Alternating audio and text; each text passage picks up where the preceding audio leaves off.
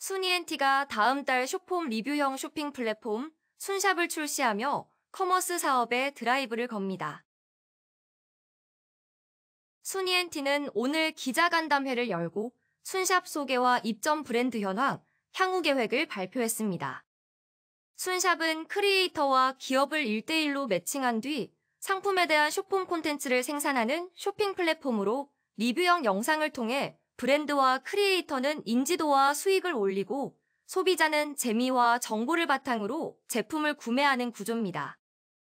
순샵은 commerce의 가장 중요한 요소라고 할 수 있는 브랜드, 소비자 그 사이에 순이엔티의 가장 큰 장점이라고 할 수 있는 creator를 집어넣어서 이 commerce 부분을 안정적으로 성공적으로 하면 어떻게 하면 launching시킬 수 있을까에 대한 고민에 대한 결과물로 나온 겁니다.